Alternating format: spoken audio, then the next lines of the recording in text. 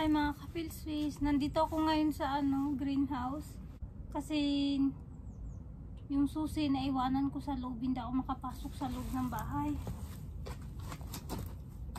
Si Carmelina kasi pumunta dun sa ano bahay ng kaibigan niya. Nag ano sila, nag-usap sila. Magkikita sila doon tatlo. Maglala, maglalaro ba. Tapos hinatid ko siya. Kala ano, kala ko na ilagay ko yung susi sa bulsa ko. Kasi alam ko nakuha ko yung susi. Hindi ko alam. Baka nailapag ko pag suot ko ng jacket. Tapos, ayun. Pag sara ko ng pinto, inahanap ko na yung susi. Hindi ko na makita-kita. Tapos sinatid ko siya doon. Ang sakit pa naman ng sigmura ko. Inaatake ako ng ano ko, acid reflux. Ang sakit talaga. Matulog sana ako. Hindi ako makatulog. Sabi ko dito na lang ako sa greenhouse. Hintayin ko na lang si Papi. Mga dalawang oras kalahati na lang din ma nandito na rin siya sa bahay. Sabi ko maglinis na lang ako dito. Medyo maalikabok. Ayan. Kita nyo yung pineapple oh, nasira.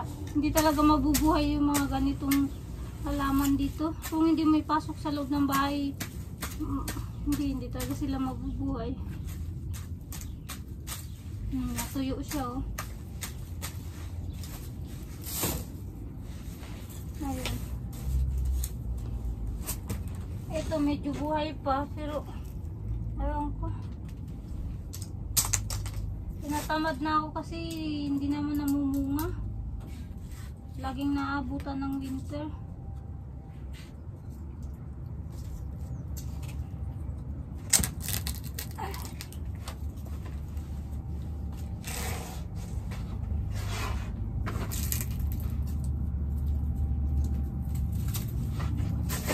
Ito, yung bougainvillea. Dati sa loob to ng bahay, ngayon nilabas ko. Kasi masyado nang maraming halaman doon. Masikip na.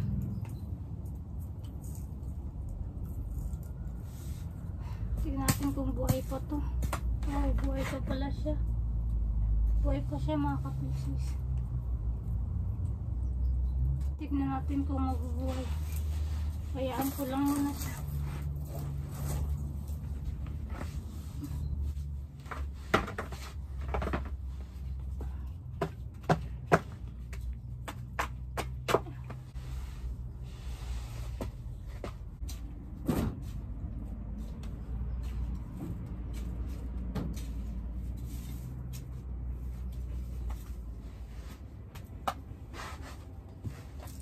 Maglinis-linis muna ako dito. Hindi naman ako makapasok sa loob. Sama pa ng pakiramdam ko. Ah, sakit talaga. Hindi ko maintindihan ang sakit. Grabe hanggang likod. Oh. Yung parang yung sakit niya parang sumasakit tapos biglang no, tapos mawawala tapos sasakit ganun kumain kasi ako ng ano, nag-bake ako ng cake. Nag-bake ako. Kasi nga ma-expired na yun, yung ready to bake ba. Binake ko tapos nag-inom ako ng tsa na may halong gatas. Yun lang kinain ko, sabi ko mamaya na ako kakain ng tanghalian.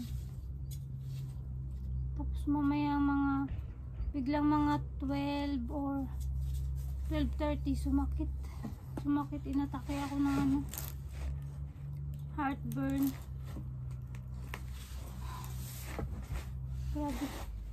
Gusto ko sanang mahiga eh kaya lang hindi naman ako makapasok. Dito na lang ako. Dito na lang warm dito. Sa ano sa, sa kamaaraw pag sa labas malamig kasi tapos mahangin pa. Dito sa loob warm kaya okay lang. Ito na yung ano, greenhouse ko. Tapos yung tanglad ko, hindi ko alam kung mabubuhay yan. Sana kung magbuhay na. Pero mga ano pa to, almost 2 months pa yung lamig. Depende. Tapos yan.